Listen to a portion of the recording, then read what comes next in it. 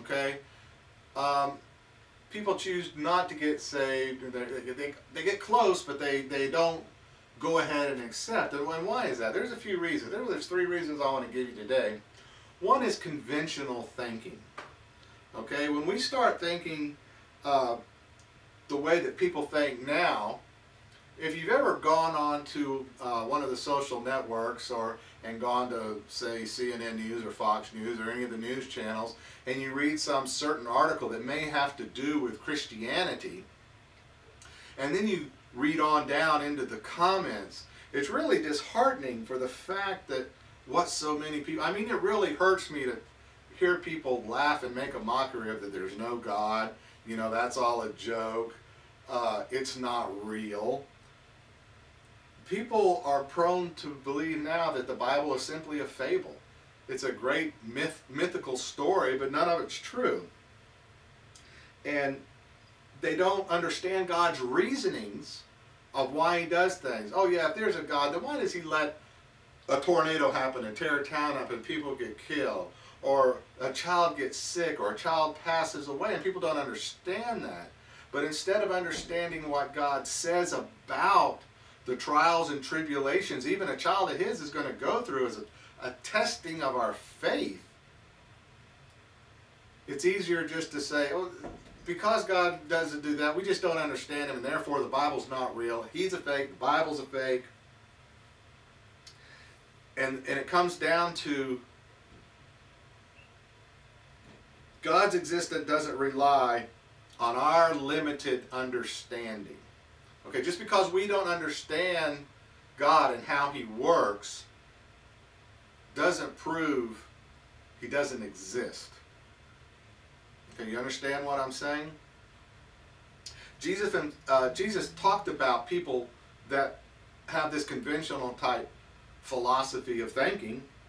Uh, in, in Mark chapter 4, verses 11 to 12, he said unto them, to you it has been given to know the mystery of the kingdom of God, but to those who are outside, all things come in parables, so that seeing they may see and not perceive, and hearing they may hear and not understand, lest they should turn and their sins be forgiven them. So putting that into perspective, conventional thinking is, limit, is limited to our human understanding, whereas the knowledge of God is boundless. He already knows everything. Uh, uh, let me give you a quick example. Okay, a long time ago, everybody thought the world was flat. Okay? Excuse me. Well, that got proven wrong. Okay? Uh, remember, a lot of us is growing up, your mom or daddy say, don't pop your knuckles it's going to give you arthritis. Well, doctors today will tell you that's not true. That's air escaping from the joints, and it's not going to give you arthritis. Or a classic one, don't sit too close to the TV, you're going to end up wearing glasses. Well, a lot of people wear glasses that never sat close to the TV. I now being one of them, it's, this year is the first time I've ever had to wear glasses in my life, but I wasn't allowed to sit close to the TV because it would ruin my eyes, so therefore that didn't have anything to do with it. But that's just another one of those old wives' tales that we've learned to follow. But as we've gained in knowledge, we've learned that those things are exactly that. They're myths and fables. Where, see, God's not. God is the same yesterday, today, and tomorrow. Nothing of that changes. He already knows everything. We increase in knowledge in ourselves but God doesn't need to increase because he already knows everything.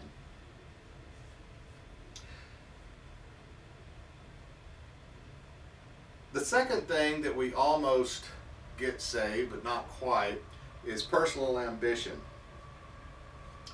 Ambition is a wonderful thing. You know, you don't want to ask somebody, you know, what's your ambition in life? Oh, I don't know. I'm just going to hang out here and see what happens.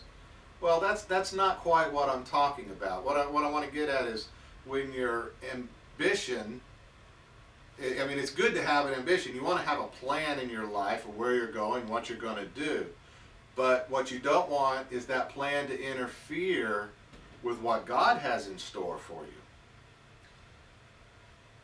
And a lot of you today many of you, especially the unsaved, and even sometimes the saved, think that you're doing fine without God. You don't need God in your life. Look, just, just look how well you're doing.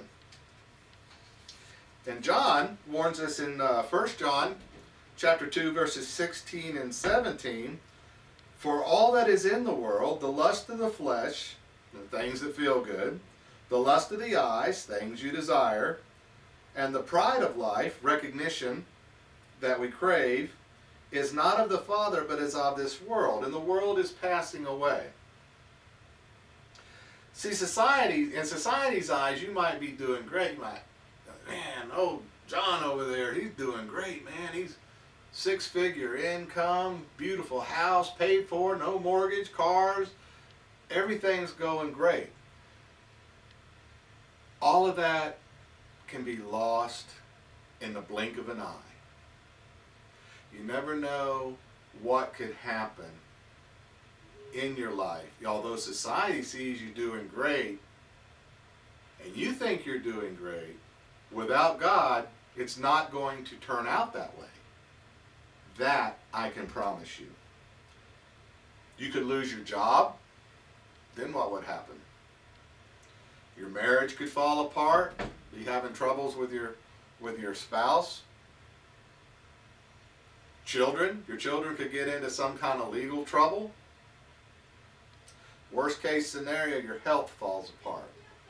And then all of a sudden, all that would be gone instantly. You understand what I'm saying? And a, a relationship with God will never change. And here again, I say because God is the same yesterday, today, tomorrow. Don't put off a salvation and knowing your eternity just because you're not ready for it. And the third reason I want to give you, and you ought to know I'm going to be saying this somewhere, is worldly pleasures. You see, we've all been there. I know I have. I, I, I've been, especially back in my younger days. I did a lot of things that were displeasing to God, and I'm sure many of you do. And if you're a saved child of God and you're doing things that are displeasing God, I urge you to get back into fellowship with Him. Turn from these things you're doing, bring them to God, He'll help you. He'll help you get back on the narrow path and to start living again for Him and restoring the joy of your salvation. If you're not a child of God and not saved, then you have a bigger issue to worry about. And that's the fact of hell. Which is, again, like I tell you, it is a reality. But many of you say, well, Rick, you know, right now I just don't want to, I don't want to give up this lifestyle that I'm living. I, I kind of got this party, maybe I'll do it next week. I got this party I'm going to, you see, and, and there's this person there that and, uh, and there might be some drinking and you know I just can't I can't give myself to God right now because I can't change all that because I want to make sure I get to this party and I want to meet this person and well you know the old saying Rick sex drugs rock and roll yeah. We've all been there and I understand that especially young people I'm especially talking to you. What happens if you're on the way home in a car Somebody drunk runs into you, takes your life, and you haven't accepted Jesus as your Savior. It's too late. There's not an excuse. It's painful. It hurts. I understand this. That's why it's of the utmost importance to give your life to God. It's that simple. Okay?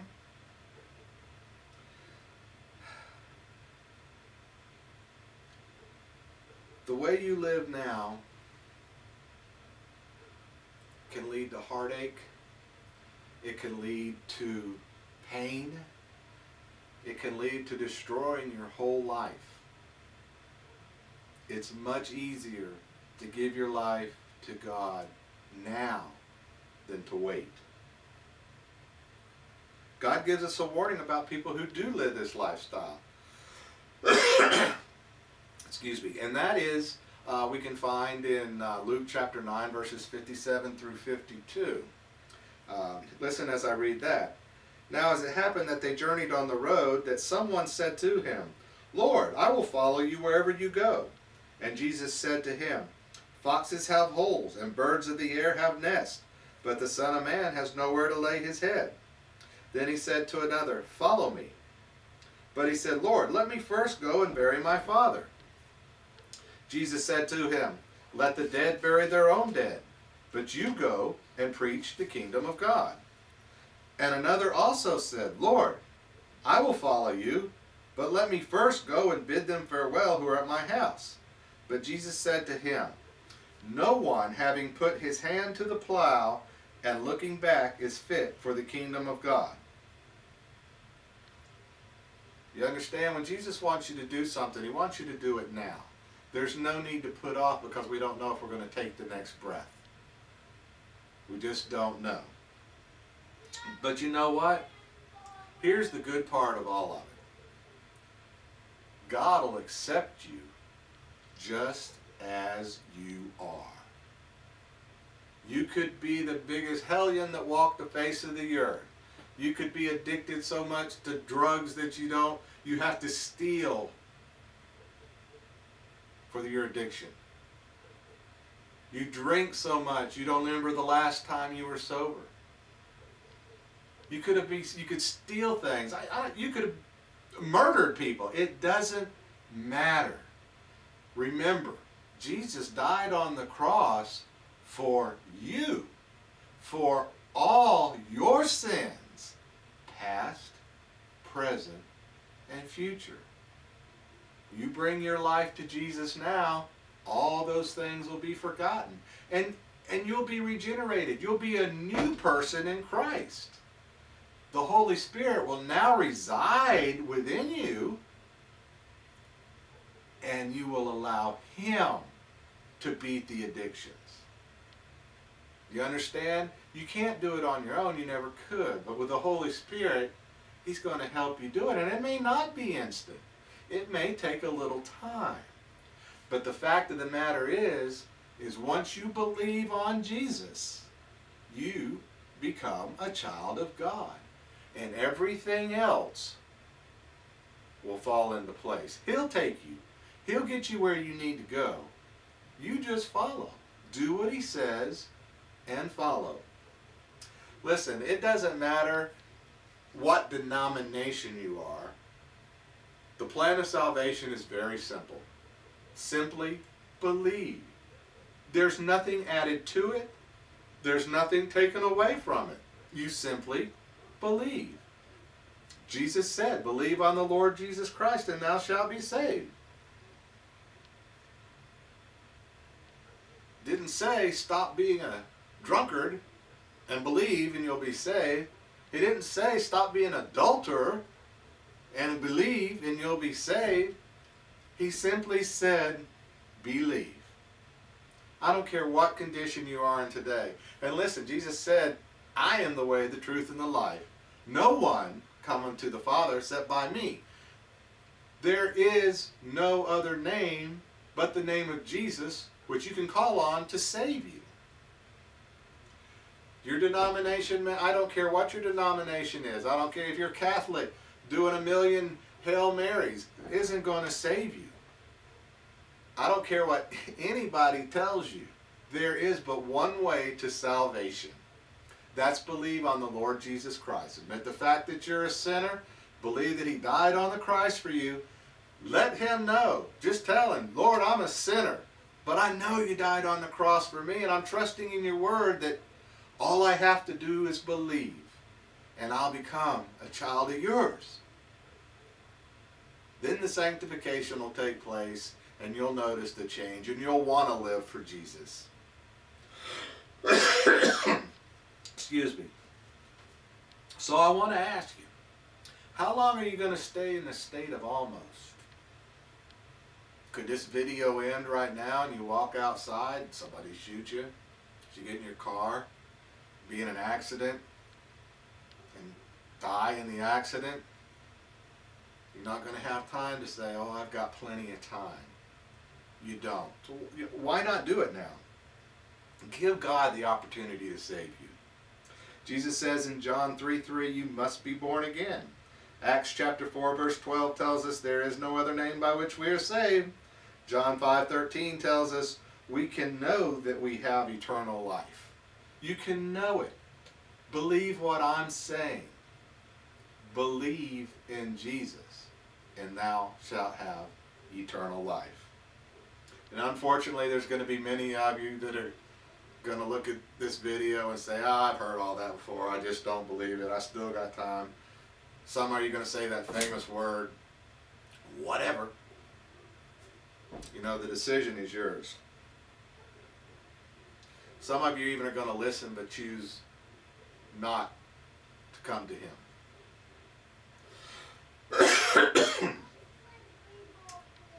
but know from this moment forward, if you say, Jesus, I do believe, I do believe, then you can know without a doubt that you have eternal life. What's your decision going to be?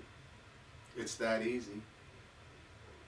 If you want to make that commitment, just bow your head. Tell Jesus you come into your life and you believe that he died on the cross for you. You believe that he's going to take all your sins away and forget about them as he promised he would. It's that simple. You don't have to go to a mass. You don't have to go talk to a priest. Jesus says you talk to him one-on-one. It's that easy. That's all you have to do. And it's the only thing you can do. Please make that decision now, today, so that you can know from this moment forward, should anything happen, your eternity is secured in heaven. Let us pray. Gracious Heavenly Father, thank you for loving us. Thank you for caring us. Father, I ask that if anybody out there listening today is almost persuaded that now is the time that they come to you.